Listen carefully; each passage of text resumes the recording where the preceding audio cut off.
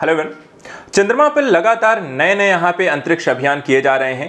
इससे पहले America, Russia, Bharat और चीन के द्वारा प्रयास किए जा चुके हैं। इसी कड़ी में हमने देखा कि हाल ही में यहाँ पर रशिया के लूना 25 और भारत के चंद्रयान 3 की भी चर्चा रही है। कल हमने देखा कि चंद्रयान 3 से पहले लूना 25 के यहाँ पर लैंडिंग होनी थी, लेकिन यहाँ पर संपर्क टूट जाने के कारण वो चंद्रमा के दक्षिणी ध्रुव पर क्रैश हो गया। आज हम यहाँ पे समझने जा रहे हैं कि भारत का भी जो चंद्र अभियान है, जिसको चंद्रमा के दक्षिणी ध्रुव पर यहाँ पर लैंडिंग होनी है, ये इतना कठिन क्यों है? क्यों यहाँ पे चंद्रमा के दक्षिणी ध्रुव पर यहाँ पर लैंडिंग करना आसान नहीं है? इसके पीछे के रीजन क्या है? चंद्रमा के दक्षिणी ध्रुव की स्थिति कैसी है? और यहाँ पर इससे संदर्भित अन्य विशेष पहलू। हमने जो अब तक देखा है कि जो चंद्रयान थ्री यहाँ पर आपको दिखाई देता है, चंद्रमा के दक्षिणी ध्रुव पर उतरना है। इसी तरीके से हमने देखा कि लूना 25 जो है, वो भी आपको चंद्रमा के दक्षिणी ध्रुव पर ही उसको भी लैंडिंग कराना था। क्योंकि देखा जाए तो जो दक्षिणी ध्रुव है, वो पृथ्वी से दिखाई नहीं देता है। और इसके कारण उसके बारे में, उस क्षेत्र में यहाँ पर पानी की संभावनाएँ और भी ज़्यादा यहाँ पर होने के बारे में कहा जाता है। इसी परिप्रेक्ष्य में अन्वेषण इत्यादि के माध्यम से चंद्रमा के दक्षिणी ध्रुव को बारे में पता करने को लेकर ये अभियान किए गए हैं। चलिए समझते हैं कि चंद्रमा का दक्षिणी ध्रुव इतना कठिन क्यों है? परिस्थितियाँ इतनी यहाँ पर कठिन क्यों है? अगर देखें यहाँ पे, चंद्रयान थ्री का जो मिशन यहाँ पर है, इससे संदर्भित जो जानकारी हमें यहाँ पर अब तक देखने को मिलती है, यहाँ पर विशेष रूप से जो अभियान आपको देखने को मिलेगा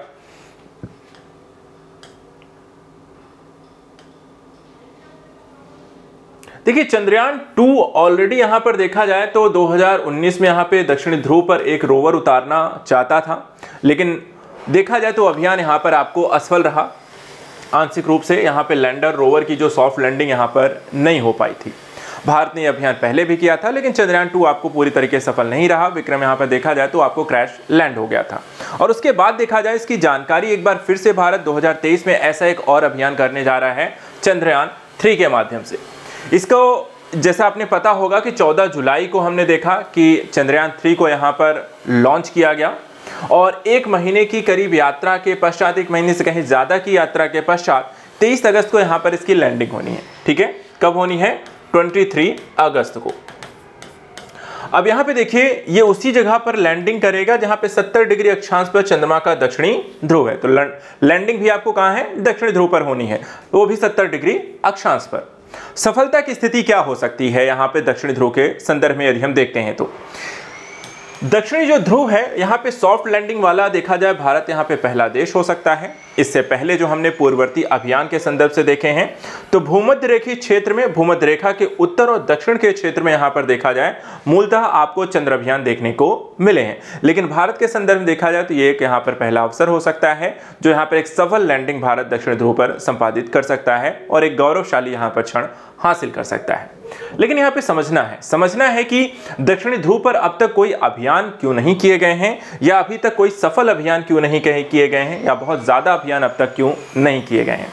इसके पीछे की अगर हम कहानी को देखें, देखिए, मूलतः भूमध्य रेखी क्षेत्र में ही यहाँ पर ज़्यादातर अभियान आपको देखने को मिलते हैं।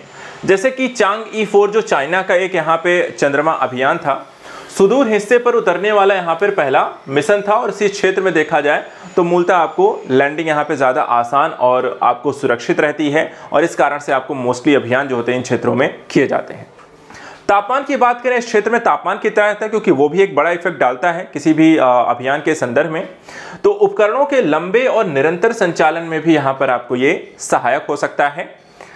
दूसरा, सतह कैसी है इस क्षेत्र में? सतह अगर हम देखें तो मूलटा कैसी है आपको? समतल है।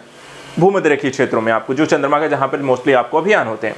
समतल है, ढलान पहाड़ियाँ और क्रेटर यहाँ पर इस क्षेत्र में आपको काफ़ी कम देखने को मिलते हैं, जिसके कारण यहाँ पर इस अभियान को संचालित करना ज़्यादा आसान है।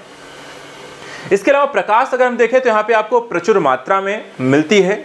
और इसके कारण यहाँ पर देखा जाए तो सौर आधारित उपकरणों को आप अगर अपने अभियान में कह सकते हैं कि जो आपने क्रेट लैंडर रोवर्स भेजे हैं, अगर आप उसमें उसे लगा देते हैं तो वहाँ पर वो उन्हें लगातार ऊर्जा मिलती रहती है और उसके माध्यम से वो लंबे समय तक यहाँ पे काम कर सकते हैं। अब यहाँ पे ये स्थिति है और इन कारणों से देखा जाए तो भूमध्य रेखित क्षेत्रों में ज़्यादातर आपको चंद्रमा के अभियान किए जाते हैं। और दक्षिणी ध्रुव की अगर हम बात करें, कि अभी तक यहाँ पर क्यों नहीं पहुँचा है तो आपको स्थिति बहुत ही उल्टी दिखाई देती है। अर्थात जो भूमध्य रेखीय क्षेत्रों में आपको जैसी स्थिति दिखाई देती है, वो यहाँ पर आपको नहीं देखने को मिलती है। क्योंकि जो चंद्रमा का आपको दक्षिणी ध्रुव है, यहाँ पे काफ़ी अधिक क्रेटर है। क्रेटर का मतलब गड्ढे हैं, ठीक है?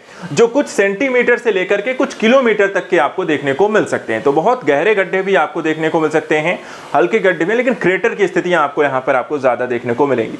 इसके अलावा प्रकाश नहीं है, अर्थात पूर्णता अंधेरे में है, जिसके कारण कोई प्रकाश नहीं मिलता, सौर ऊर्जा जैसे संचालित उपकरणों का प्रयोग नहीं कर सकते हैं, सूर्य की रोशनी नहीं मिलती है, और इसके कारण जो तापमान रहता है, वो भी यहाँ पर आपको ज़्यादा ठंडा रहता है। बताया जाता है कि माइनस दो डिग्री सेल्सियस का यहाँ पर आपको तापमान हो सकता है। इसके बाद ऐसी स्थिति में आपको उपकरणों को संचालित करना भी आपको काफ़ी कठिन हो सकता है, और ये एक स्थिति देखी जाए किसी भी अभियान के लिए, जो एक विपरीत और कठिन परिस्थितियाँ हो सकती हैं, वो सारी परिस्थितियाँ आपको दक्षिणी ध्रुव पर चंद्रमा के देखने को मिलती हैं।